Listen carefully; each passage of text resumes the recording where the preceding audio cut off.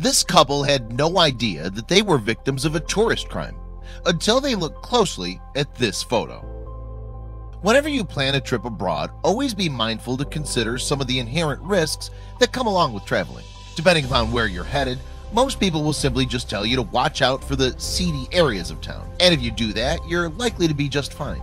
However, one woman recently discovered just how much you really do need to have your guard up at all times while traveling in an unfamiliar place, especially if you also happen to be paying close enough attention to your surroundings. Unfortunately, the fact that she and her husband had been sneakily caught with their guard down wasn't noticed until much later on, after they'd already returned home from their Thailand vacation.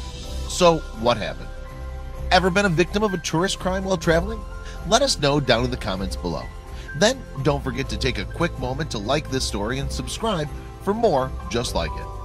There's no question that the country of Thailand is an absolutely beautiful place, which is just one of the many reasons why it's such a popular tourist destination year-round. Incredible architecture, stunning natural views, and numerous luxury hotels populate the area, mostly due to the fact that Thailand's economy relies largely on capital made from tourism. The industry accounts for roughly 9% of the nation's total gross domestic product, so naturally the Thai natives are conditioned to be as welcoming to the foreigners as they possibly can.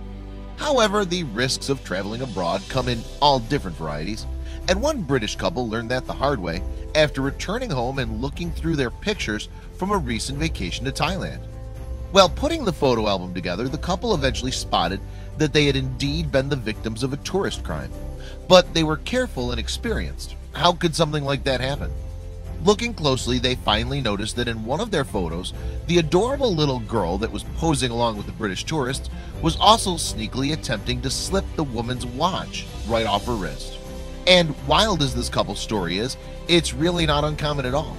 If you plan on taking a trip abroad yourself, make sure to be vigilant and prepare yourself accordingly. First and foremost, be careful to thoroughly research the area that you're visiting. Also, rely on your natural common sense when it comes to being in an unfamiliar area.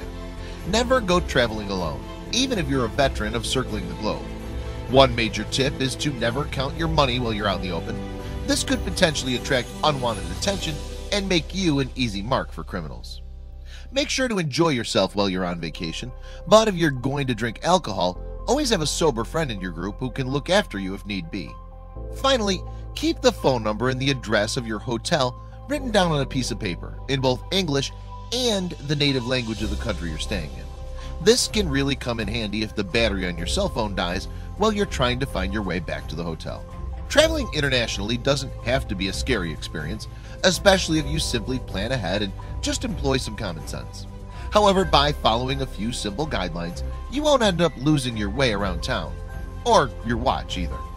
Got any of your own tips when it comes to circling the globe safely? Let us know in the comments below. And if you enjoyed this story, leave us a like and subscribe for more.